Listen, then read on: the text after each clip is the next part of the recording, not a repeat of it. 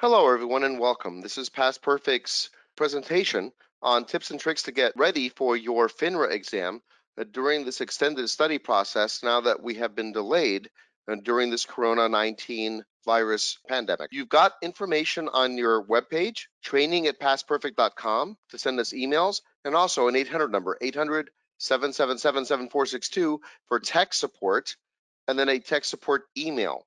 Again, the training is for content questions the tech support and tech support email are for login, getting into the website sort of questions. So my name is Dr. Ernie Varela. I'm one of our instructors at Pass Perfect. And again, we just want to give you some tips and tricks to get through this process as you're getting ready through, again, the delay for getting ready for test.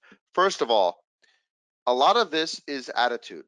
Everything right now is literally up in the air. When we're going back to work, when we are going back to school, everything. So one of those things that is up in the air is obviously when you're taking your test. If your attitude is this is going to worry you, that's going to be a thing. But take this as extra time. You have bonus time to get ready for the exam. So use this to your advantage. The test questions won't change, the passing percentage won't change, but you now have extra time to get ready for your test.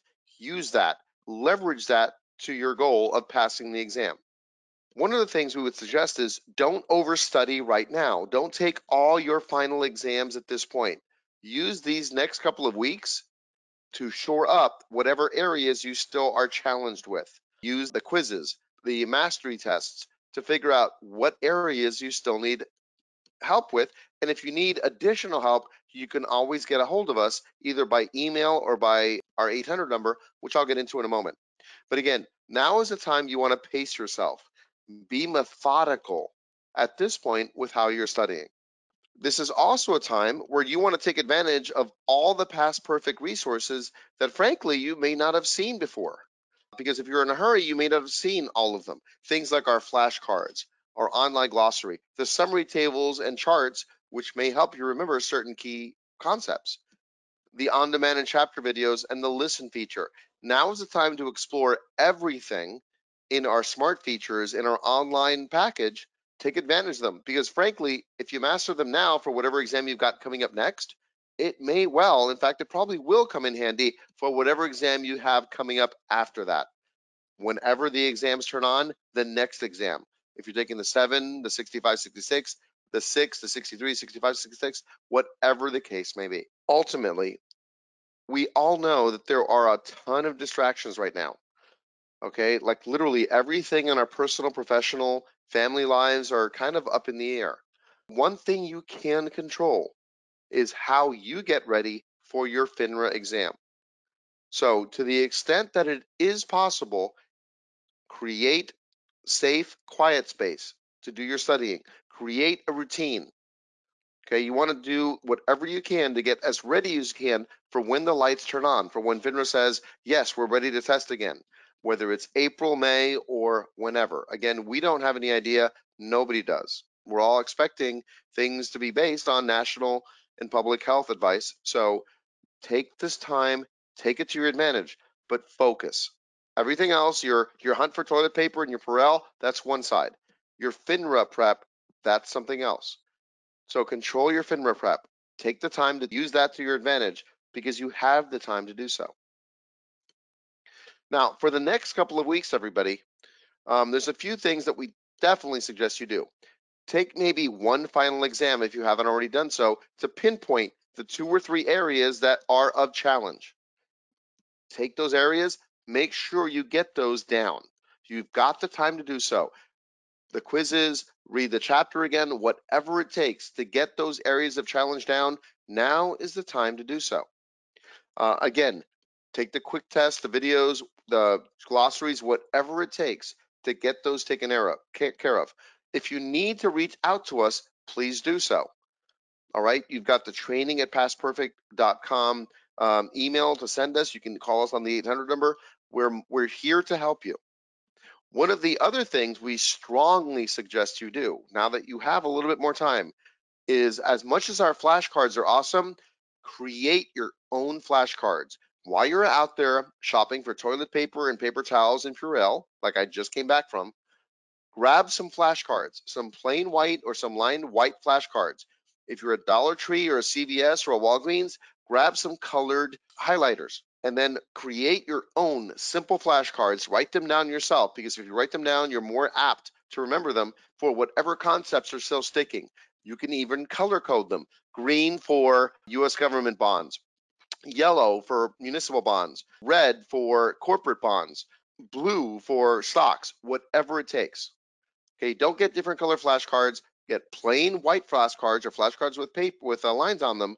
Again, they're not that expensive. They're going to be at whatever you're going in to shop for, Purell, Lysol, whatever, and then maybe some colored highlighters to, to color code what concepts you're looking at on the flashcards. Okay, but if you literally don't type them out and paste them, write them down. Writing them down increases retention orders of magnitude. When we get to that happy day a few weeks from now, when your exam is scheduled, that's when you want to ramp up your studies. Go from more reading and studying to more final exams. Okay, now you still want to take the final exams methodically. Again, these are diagnostic tools. Take a look at the questions you're not getting right. Build up good test taking habits now. Like, for example, don't second guess yourself. Don't change your answers. If you see a, if you got an ABCD question and you've eliminated one or two possible responses, you've narrowed it down and you've made your choice, you pull the trigger, leave it alone. Do not change your answers. That is fatal on the FINRA exams. Use scratch paper when you take the final exams, even when you're doing them at home.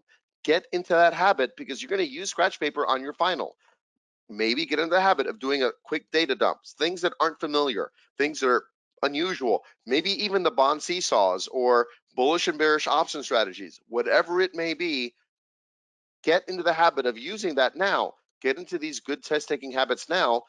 That way you'll be more likely to carry them into your FINRA exam whenever it happens, sometime late April, early May, whenever the case may be.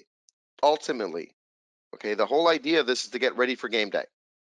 Okay, so remember, expect the unexpected. You're going to get um, you're going to get experimental questions that you may not expect. That's fine. Look, if you get a question that looks like it's the chemical recipe for Purell, pick your favorite letter of the day and move on. Mark it for review.